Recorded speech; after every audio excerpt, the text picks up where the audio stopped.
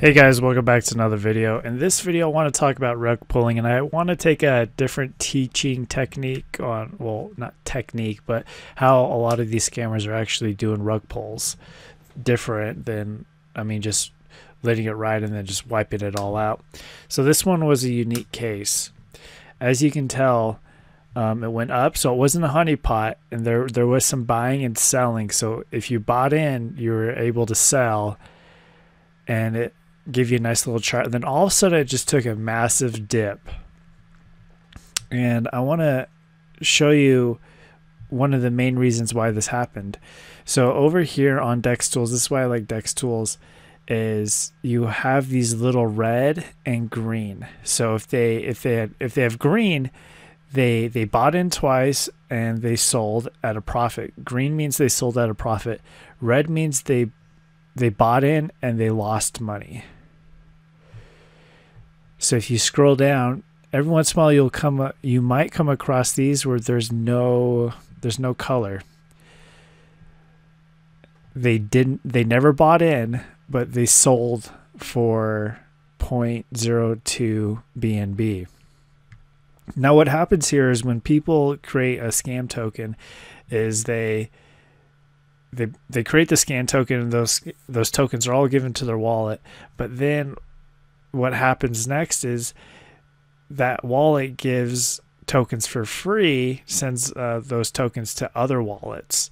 So when prices are high those other wallets will come in and sell tokens that they have even though they never bought them because the original wallet gave them free tokens and with this, in this case, we can see it actually happened quite a bit. It looked like a bot right here sold 1.3. And so this scammer, what they were doing was they were doing everything nice and slow. Here's a here's this wallet right here, and here's this wallet. And I call this a, a, different way to do a rug pull. Another way that a rug pull is done is if liquidity is not locked. Let's see here. So if liquidity is not locked, the owner can literally come in and sell all this tokens that he has in his wallet all at once. So it could be way up here and then they could just decide, "Hey, I'm just going to sell it all." In this case with this this scam, what happened was they wrote it and then they used some wallets to sell it because what they were trying to do is they were trying to push it higher so that they can make even more profit.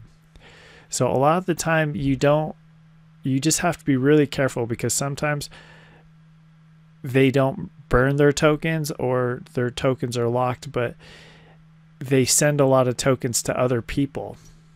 And they do it in a way that's very, very shady. So if we look over, let's see here. We come back over here, we can go to the holders.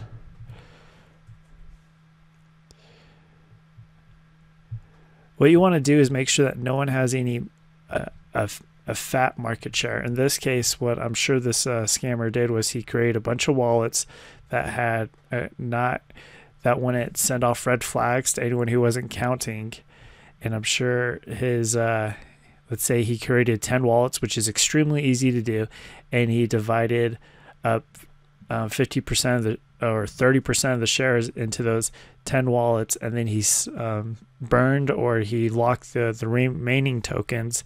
And then as the, the prices would go up and down at peak highs he would actually come in with those wallets and sell some of that. And that's why we see a lot of the the no colors over here. A lot of sells but they had no buys. So in just in basic that's kind of what a rug pull is and definitely keep an eye out on that if you bought a token. And if you do see a lot or large sign of of that going on, it's best to get out as soon as possible so you don't lose your money. Because as you can tell, it just it tanked, and people that are still in, they're not going to get their money back. Their money's pretty much worthless. So don't be one of those people.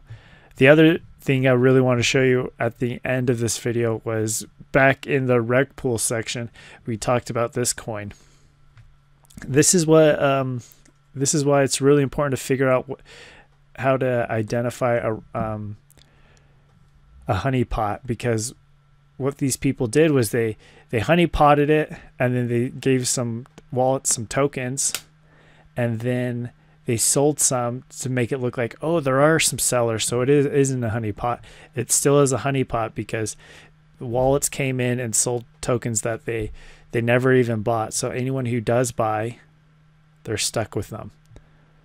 They they can't sell. So just another quick little tip. Talk to you guys later. Bye